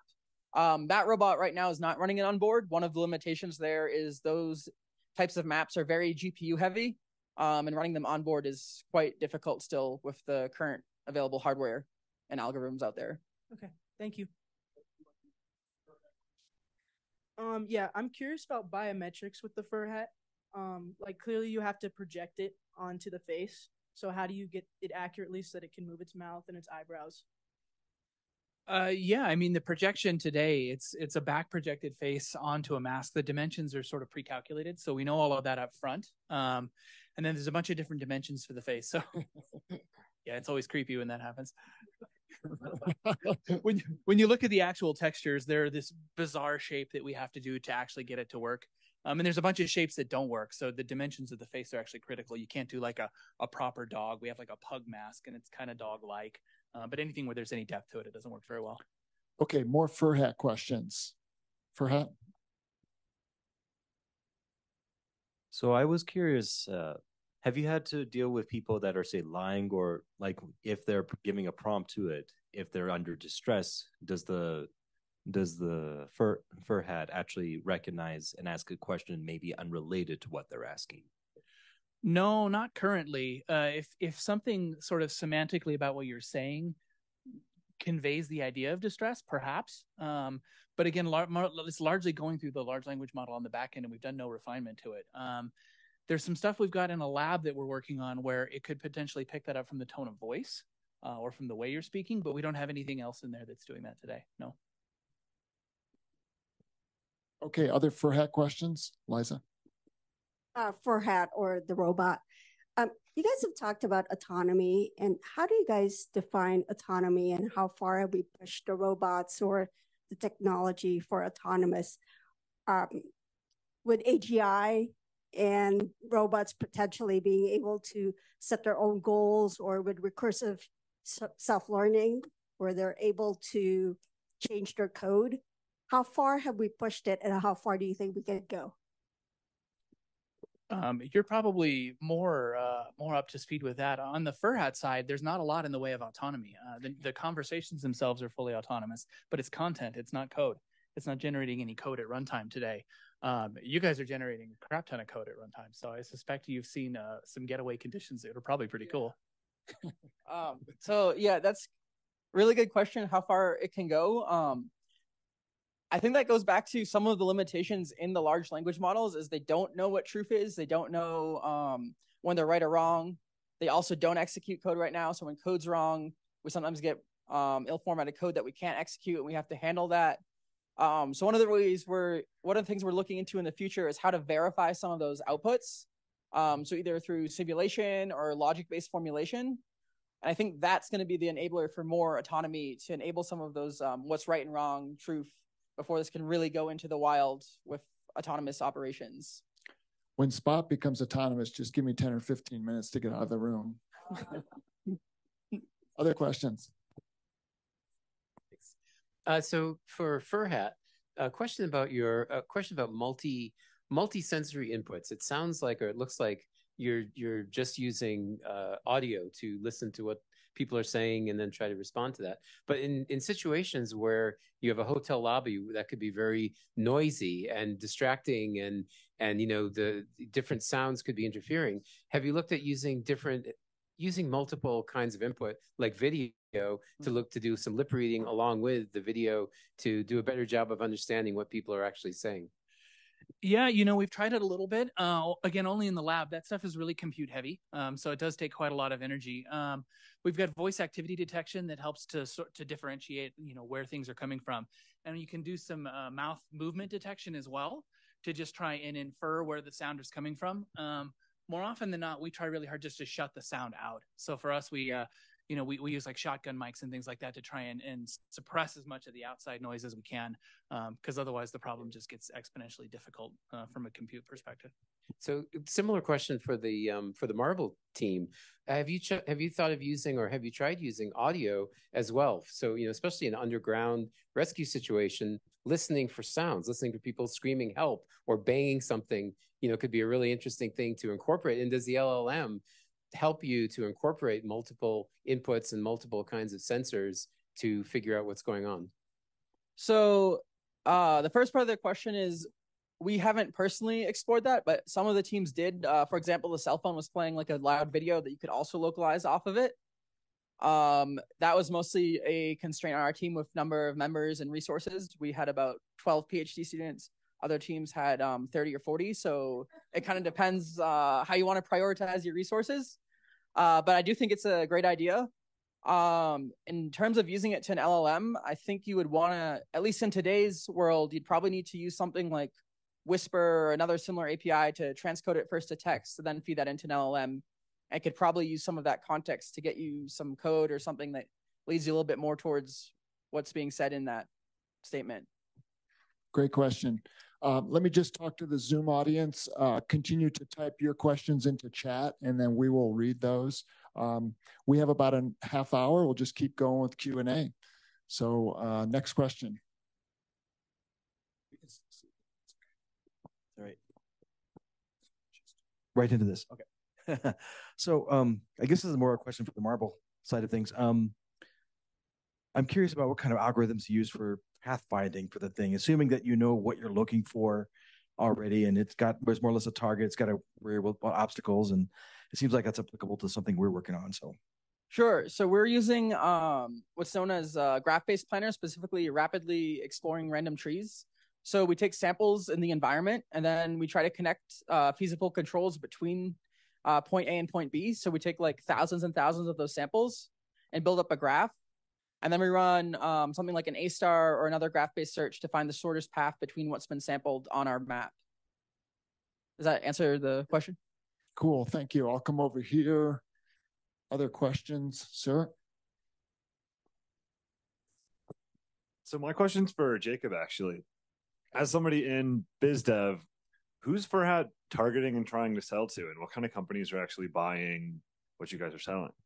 Yeah, great, great question. So um, Furhat's been around for about seven years, eight years now. So um, a large portion of our business is research. Um, people like gentleman sitting next to me, right? Doing research on robotics, doing research at uh, university research labs or government research labs or DARPA and government re- and, and a variety of different robotics research labs. So that's probably about 60 to 70% of, of who we do, um, who we sell to. The other 30% is uh, on the commercial side. And that piece is expanding like crazy with the with this implementation of LLM. So um, anything where it's a transaction transactional based conversation, right? So um, you know, question and answering, medical screening, um, you know, hotel receptionists, gate uh, airport gate agents um, even as things where you're simulating things. So whether it's a training robot to simulate an angry customer, or we do a lot with um, you know medical uh, medical uh, patient simulations, right? You can tell the language model to be a specific case of Alzheimer's and have the nurses practice uh, interacting with that you know Alzheimer's patient. So um, anything that again that has that conversational limitless interaction piece are, are really big for us at the moment yeah, the the medical student piece was cool in your uh, in your annual meeting. I heard about the the, the you know medical students are starting with the Furhat and then moving on to to real life patients. I thought that was very cool. Okay, next question over here.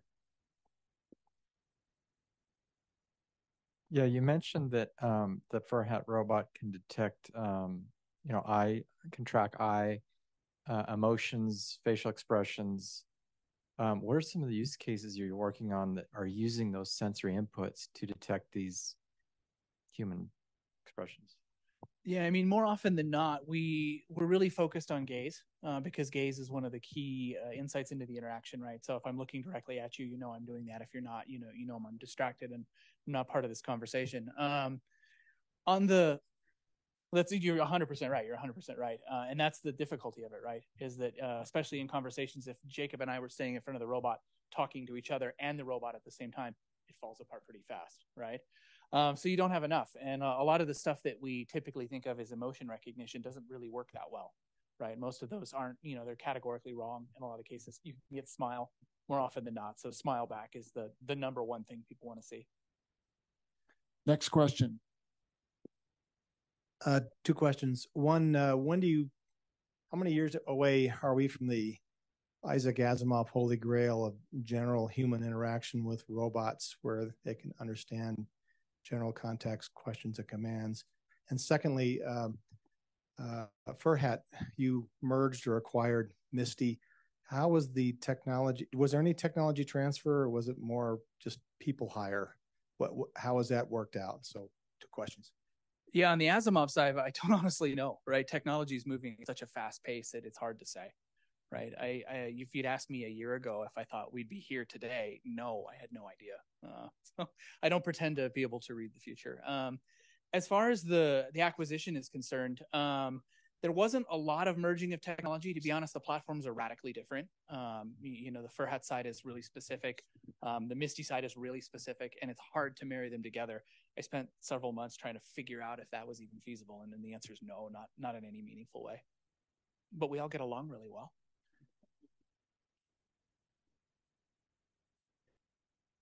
Uh, so unfortunately, I think I'm gonna have to give a similar response. Um, I would say I think we're still a ways away, but um, as mentioned, like even a year ago, to think we could do this kind of stuff with robotics, um, in this kind of general fashion was just not even really conceivable. Uh, there's been research in like language guided navigation now for years, but a lot of earlier models, highly domain specific, you had to train them on your domain. Uh, you said sentences outside of the initial training corpora, and then it all fell apart. So I don't know. I think it's going to take a few more like big developments like LLMs, but uh, I still think we're a few, quite a few years off. But it's hard to predict at this point in time. All right, so I have a question about, um, actually, I have a few questions. So, in regards to the group that's working with Spot, um, you said that you had two separate uh, internal models that you're working on. I was curious, how many tokens do you have in those models? Um, so what's actually running on the robot right now is uh, the GPT models, so they can go up to thirty-two thousand tokens. Okay. And then Llama, uh, which we're looking at swapping out to, that can go up to I believe eight thousand ninety-six tokens. Okay, and then are you planning on doing anything when, with the constitutional program, like networks? Um, that's something that we are. I've been reading up on and slowly looking into, but no immediate plans right now. Okay. And then um let's see. I guess it's a question for everyone who's uh, presenting today. I'm curious about the new development with the um, NVIDIA, the Tensor Core processors. Are y'all planning on applying or implementing any of that kind of te- technology into your your workflow and development for your whatever pro- projects you're working on? Um, I would say we're in general always looking to put our stuff on like the fastest hardware available. So if some of that stuff proves to be much more efficient and power efficient is a big thing in robotics, Right. then we'll definitely consider moving towards it. Um, for me, it's still a little early to tell. Right. Um, we usually like to wait a little bit to see how things perform other places before we put them on a robot. Yeah, I would imagine that the um the H100 or H200 probably well you can't put it on spot. It's just too big. Exactly. Right. So I was wondering if you guys would have um, an internal system of a, some sort of server system that you would have that you would then still be able to link to, and then you would have your um, Llama model built into your spot, um, being able to work directly with that. And I was just curious if you had any, because I, I do everything off of a 4070 Ti, Mhm. so I noticed my limitations with the technology, and I would love to get my hands on one of the new TSU, you know, TPUs or such, but it the only people that I know that would be able to get that kind of information or that kind of equipment would be people like who's presenting here today. So Um, so yeah, right now we're running off of 4090s, so a little bit better than the 4070, but not still has limitations. Um, we have access to A100s occasionally in the cloud. Um, and we are, of course, always looking for newer stuff, but the the price is still a big kind of problem in academia. yeah, um, all right, thank you. That's all the questions I have. Thank you. Uh, Alec, did you have another question? This is uh, for the Furhat people. You showed the uncanny valley with images, but video in real life is much more difficult. So I guess my question is, do you want to talk about that? And also, do you just say, hey, we just can't get there. So we got to stay on the left side, I'm sorry, the right side of that graph rather than potentially drop in. Yeah, that that's a great point. And, and in the graph, you maybe saw there was kind of two lines. There was a still and then a moving, but video is even a, a further step, right? And I think that's something that uh, at we maybe took a little bit different approach with the back projection, uh, the back projection technology, because you can change the face. So we have universities and and commercial use cases that want it to be super hyper realistic, right? They wanted to. We had a, a Japanese um, a Japanese news station at they wanted their host to be on the on the robot, right? So they put a the, they scanned his face and he was the host, and they they made it as hyper realistic as possible.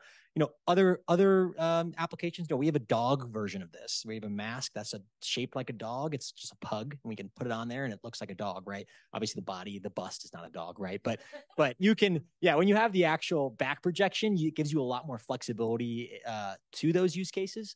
Um, but it's a great point, and I think uh, when you actually the other piece of this is uh, what I've noticed, at least interacting and, and watch people interact with a robot, is there's even a difference with watching somebody interact with the robot and interacting yourself with the robot. There's even another uncanny valley there. Um, people tend to f- trigger the uncanny valley uh, a lot faster when they're interacting with the robot. Maybe and maybe it does something you don't expect, right? You know, I've seen so many people walk up to it and it locks eyes with you and then greets you and smiles. And people doesn't matter what the robot looks like, it's like, oh my gosh, this is really scary. Um, and so and so there's there's a piece of that there as well. Um, but I think from our end, like we're gonna at least what the current research is showing is, is that this uncanny valley piece is changing. Um, if you would have asked my grandmother about Siri like two or three years ago, she found to be the scariest thing she's ever interacted with ever, uh, and now she uses it every day on on her on her Google device. So I think that's that is that is shifting, that is changing, and so we're excited to see kind of what that looks like. So kind of answer your question a little bit. Yeah. So I've got a follow up to that actually. Do you have any user feedback on like the language coming out of it? Like when I heard your uh, check-in counter robot saying, "We're so happy you're here," I hear that and I'm like, "BS! Like you're a robot." I want to, I want to work with the robot and interact with it, but like I could care less if it shows me that kind of sentiment. Do you have other users saying the same thing? Yeah, it's interesting. I think the stand, the stance that we take as a company um, is we really sell the robot to be uh, an embodied interface. So we work with universities that are asking that exact question, right? Let's take let's let's do a whole PhD on that question. So for us, I don't know if we really take a, a, a marginalized stance. I mean, we get a lot of we get a lot of feedback uh, on that, um, but do we take really any sort of stance on it? No. Yeah. No, nothing. No, no, nothing exactly. We don't have any kind of stance on it. Uh, the thing that's I think more interesting is you know six months ago having to code all of that by hand sucked but now you can make those interactions as as sort of curt as you want them to be. So the robot doesn't have to be polite. The robot can be a jerk. And it's okay. And it's actually more fun when the robot's not polite. So these last two questions are a great segue to my question, which is also about uncanny valley. But you've been talking about primarily in the image domain, in the visual domain, but there's also a linguistic uncanny valley. If just just, just talk to someone on the phone, you can say that's a machine. That's not a human. That's a machine that doesn't talk like a human. And I noticed. Uh, I was, one question I had is how many people on your what what percentage of your research staff are basically linguists? a, a surprising amount actually we Well, do uh, it's have not surprising. I respectful. yeah. No, we do have people who come through all the time. We have interns who come through all the time who are getting PhDs in linguistics or, uh, you know, computer linguistics or human machine interaction. So we do have a lot of research that comes through on that. Um, most of the actual speech that we produce from the robot, we didn't create any of our own models to do that. Most of that is stuff we're consuming from the cloud. So it's from from Google or from Amazon or from Microsoft because the neural voices are really really good. Um, and once you've used them, any of the other voices, you'll never go back to them. You'll never use them again because they sound robotic and horrible. The the the timbre is good. The prosody not so great. Yeah, it, it totally. It depends on the voice. It depends on the interaction. Um, some of them have more advanced configurations you can apply, um, and, and actually with some of the uh, the XML syntax that you can apply SSML syntax, you do get much better uh, results out of those. Um, it's the kind of thing where I think we have to cram it into a model and let it generate that instead. Because if you try to craft it all by hand, it's extremely hard to do.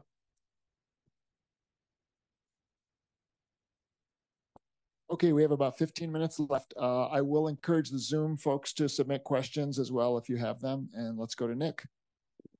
Thank you. So I have a question for the Spot team, uh, mostly around hallucinations with the code. Um, with being that all the code is being developed on the spot, um, what is the frequency of success versus failure that you guys have, and how far do you think the models need to get before that becomes like reasonable in a uh, everyday use case? Let's say for the robot. Um, so raw code failures is probably only about three to four percent of the time where the code will not execute. Um, where the code doesn't execute correctly. Uh, the last thing we did, um, kind of research we did on these types of papers, we got about um, 78% accuracy with GPT-4. Um, and bear in mind, we're just generating the small piece to solve the language query. The rest of the kind of a co- path planning and autonomy code is not being generated by GPT. Um, so it's really kind of a five to 10 line piece of function code that's calling underlying networks. Cool, thanks. Uh, other questions? Sean, pass this over.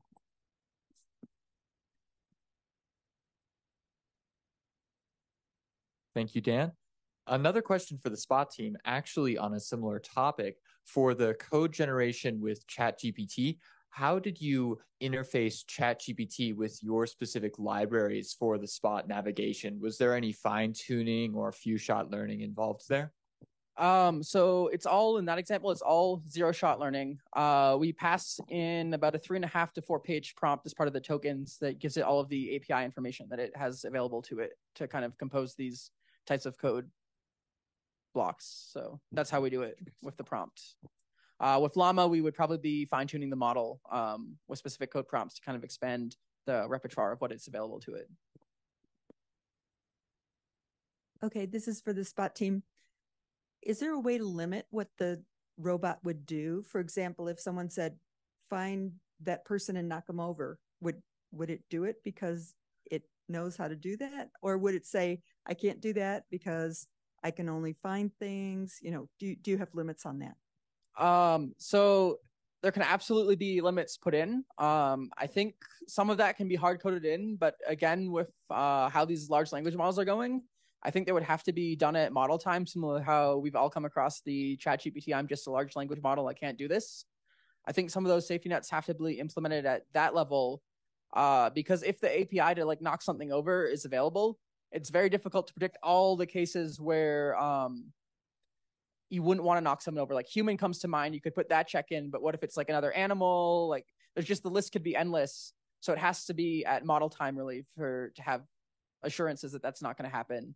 Um, we could do the best on the robotic side, but I think it's up to whoever's developing the model.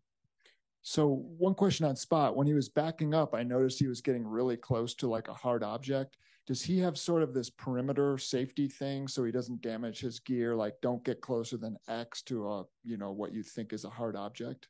Yeah, so that comes uh, actually built in mostly from Boston Dynamics. There's um, six different depth cameras all the way around the spot, so it has 360 really fine depth coverage for very local joint control. Um, so it will try to change its gait and everything to avoid an obstacle. And actually, if you were to walk it and you, someone's standing in front of it, it will just walk to the side um, and bypass them. So it's very good at avoiding almost everything. Um, sort of question for both teams, and it kind of piggybacks on a few of the questions here. So, how are you thinking about risk? In your presentation, you talked about sort of being a consumer, and so I'm wondering about kind of the liability side of things, and if you know, kind of true to what you all are saying, if it you're it's really just on OpenAI and Google and whoever to figure it out. How are you thinking about your products in that direction? And then second, I'm kind of just curious of the makeup of your teams in terms of the skill set and you're describing really complex processes that you're going through. And so I'm just sort of curious what the makeup looks like. Uh, sure, I can start with that. So, in terms of the risk assessment, um, one of the easiest ways we can avoid risk, um, like especially in academia, is we're not commercializing right now, so it's a very limited audience. But then the other aspect is if we don't want the robot to knock it over, we don't have to implement anything that enables the robot to knock something over. Um, so we can try to focus our research in kind of areas that are much better for interacting with humans um, and not necessarily tackle those problems. I know that's kind of skirting around the answer. That's a little bit how we do it right now on the academic side. Um, in terms of team makeup, uh, so the language project was primarily done by myself and a master student um, and my advisor the actual autonomy algorithms running to do the path planning and everything and the localization that was developed by about 12 phd students um, with like undergrads rotating in and out over the course of three years or so. So kind of a variety of skill sets ranging from phd students who were just starting like myself when that program first started to more senior phd students who'd been in the program for like three or four years and then undergrads and a few master students yeah, I mean, on our side, the easiest answer is we generally tell people that they have full control over what the robot says. They have full control over the prompt. So we've had schools uh, who've asked us to avoid sensitive subjects, and we say add that to the prompt, right? Never talk about suicide. Never talk about self harm. And the models are pretty good at it. Um, it isn't a foolproof answer by any means, right? There's no real safeguard um, the piece that we're looking at now is whether or not we can put NLP in the front end or back end to catch some of these things when they come out and, and, sort of have an error state that's like, ah, yeah, I don't know what's going on. I don't like this, right? So that so that we have some final safety check. But realistically, it's a hard problem to solve, um, and it's a hard problem to solve in a way that gives control back to the user who's creating their application. Um, it's easy to build in the safety net that applies to everyone. Uh, it's not as enjoyable in a sense. Um, from a team composition perspective, we're kind of a, a, a really aqueous org, right? So there's a lot of people in a lot of varying roles. We have a lot of creatives, so people who are doing uh, interaction design and creating interactions. Um, we have several people who are, are professors and coders part time who come in and work on the natural language processing side or on some of the core programming side. And then we have a lot of guys who do uh, sort of middleware stuff uh, central to the robot. So how do how do you stand up the SDK? How do you build some of these hooks and functions in so that other people can access them? Um, it's a pretty strange org. I'm not gonna lie. No, definitely. And since I have the mic real quick, there was a question about uh, the commercial part. You mentioned that being 30%. Geographically, where are you selling to? Yeah, so the the robot was founded out of KTH, Stockholm, Sweden. So um, a lot of our geographical footprint, uh, as far as actual sales, are throughout Europe. Uh, obviously, we have two teams, one in Stockholm and one here in Boulder. Um, it seems like the U.S. Uh, and, and, North America is really adopting this type type of tech commercially more so than Europe at the moment. So on the commercial side, um, we're really heavy here in North America, especially here in, in the U.S. Uh, and then more so on the academic side, a little bit more in Europe. Yeah, but mostly those two. I have a question for Furhat, and I hope this doesn't come off the wrong way, but I am curious why not just use like a generated uh, animated you know figure on a, a 2D screen as opposed to going through the whole the whole bust? Yeah, I can answer that one. So my favorite answer, I get that a lot actually. And, and my favorite answer to that is actually, if you remember when Morgan was answering a question, I went and ripped the face off. Right. Uh, and, and I noticed people in the audience, like you almost like you have this guttural like reaction to that, right? Like, oh my gosh, whoa, what are you doing? And I think that is, is the power of embodiment. Um, when you are embodying something and you're embodying an interaction, uh, you as a human have an affinity towards it, whether you realize it or not. If you're interacting with an avatar that's running ChatGPT and I just turn off the screen, um, you're not going to react very that heavily. If I go up and just you know karate kick this robot while you're talking to it. Uh, there's a part of you that I mean, you might be scared because I karate kicked it, but uh, there, there, there's a part of you that has an affinity towards that robot, whether you realize it or not. So it's important from our perspective on at Furhat at least to embody. Um, we do have uh, a virtual 2D robot that um, has capabilities there. They're not as advanced, obviously, as our embodiment side. I mean, that's our bread and butter. But um, you know, sometimes a 2D figure makes sense. But but in general, for us, it's it's about the 3D portion. I have a question for uh, both endeavors here. Um, first off, thanks for uh, presenting. Um, it was it was awesome. Um, I'm curious if anything comes to mind in terms of like uh, hard lessons learned, or like if there's been any big failures that have happened that you've overcome. Yeah. So there's a long list. so um as I mentioned, there was kind of three different environments for the DARPA challenge. Um, there's also th- three different events. So our team, for example, at the end of the tunnel event, we were like fourth out of twelve, feeling pretty good. And then we were like, oh, we deployed three robots successfully. Let's redo all of our uh, software stack. Let's deploy seven robots to the next event. It's going to be in six months. And that went very, very poorly. We finished like second to last.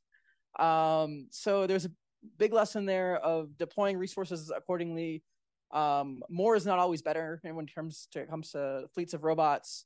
And sometimes if you have a baseline that's working, you just want to stick to it and improve on it rather than try to reinvent the wheel for something a little bit better that ends up not being refined and finished. So practice and deploy resources successfully. Lots of failures, so many failures you know, it, it just depends. Uh, you know, in the early days when we were part of Misty, uh, we had a couple of really epic moments. Where we're gearing up for these huge demos, and uh, you know, Human X or Human Y just drives a robot off the end of the table and smashes one of four bespoke robots into a zillion pieces, and you're like, oh, spent all night building that. And so, so, there were a lot of moments like that. Um, the one we see most commonly, and the one that drives me completely crazy, is is when you go to events, Wi-Fi right the networking the networking is why the robot's doing nothing today it's the networking doesn't work. Um, so you go to an event, you go to a big trade show or an event center, and you get you know six teaspoons of Wi-Fi today, and you just can't do anything with it, right? And everything's connected to the cloud. There's just no way out of it. So that's a big one for us all the time. Uh, question for the Spot team. Uh, you mentioned you were kind of importing the the code library via prompt at the at the start. Um, are you doing any you know um, unit testing or anything on the code that's generated on the output and recursion or anything to try and get it to be a bit more robust? Um, at the moment, we are asking the model to give an error state um, if it can't resolve it. Um, so we're checking for that error state, and then we are just trying to catch any runtime exceptions at the current moment. Um, there's definitely looking. Uh, we're definitely in kind of looking into how to verify certain aspects of Python code, maybe through a simulator, then reprompting the LLM to correct it after to try and make it more robust. Uh, but none of that has happened yet. I have a question for the Spot team as well, kind of a, a follow up. So, uh, OpenAI has a function calling feature where it can choose, you can essentially give it an interface, you can choose which function to run and then pass the arguments uh, to the function uh, generated by the LLM. Is there a reason you're not doing that and instead are like writing all of this code?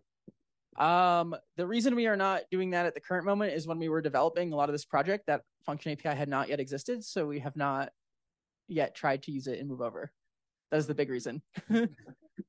Good question too. Okay, we have about five minutes left. So last chance. Uh, let's go to Greg. Yeah, I'm really curious. Um, given what uh, you know about um, embodiment and infi- affinity, have you done any kind of statistical analysis on believability of responses when rendered via text versus via your interface?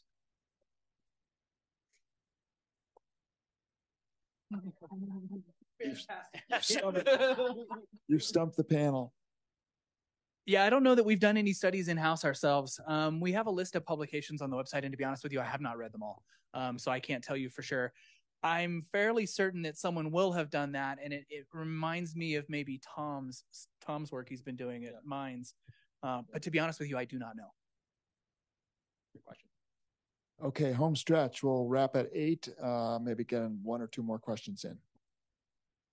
Real quick question for Furhat: Are you hiring at all? We are. Ooh. See me. All right. Other questions from the audience? Brian.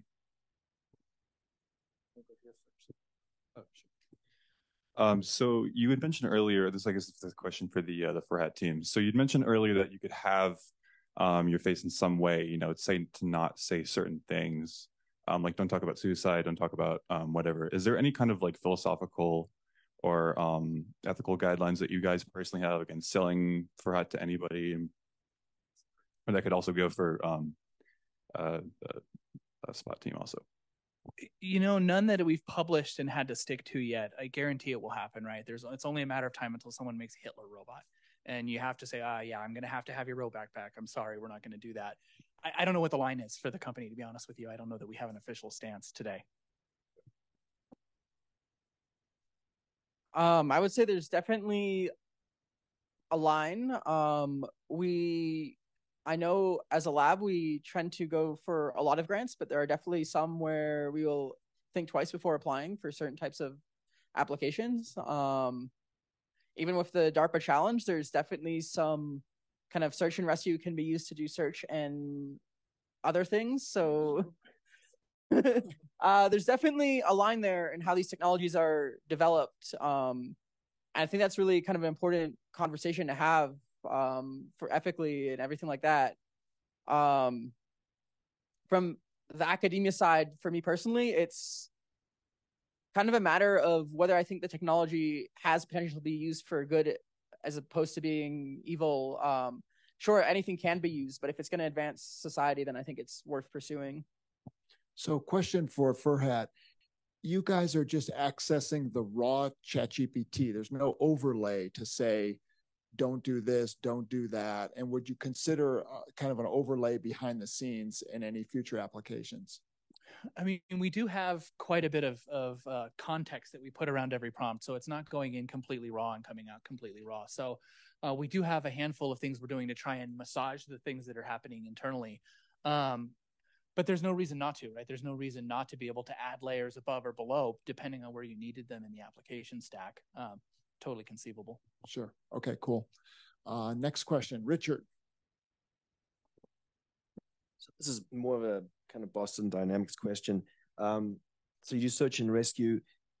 Uh, I, I I've just seen the videos of the robots dancing and stuff. Do you, do you have access to those as well, or do you just have access to the the spot? So that robot, if we took the stuff off, could theoretically um, do the dancing. It's called uh, Boston Dynamics choreography, but it's also another application with an add-on fee. And I do not believe. I think it's probably like five or ten grand, and I don't think we bought that add-on for application.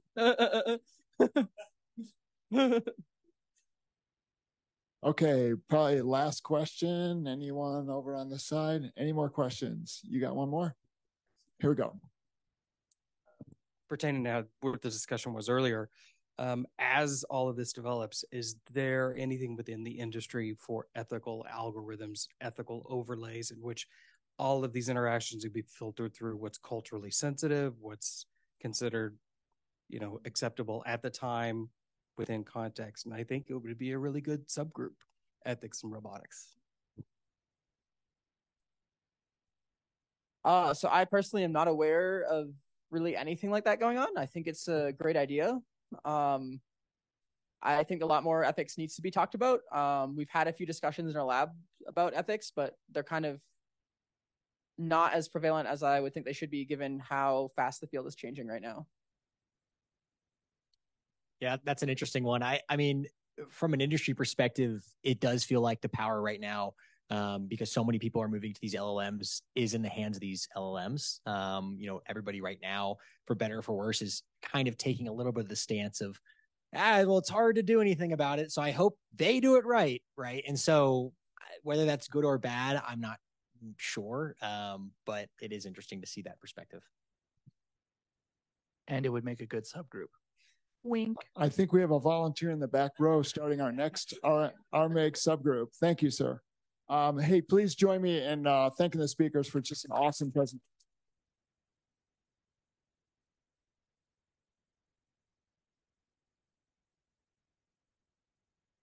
Thanks to everyone that came out. Thanks to our Zoom audience. And that's a wrap for tonight.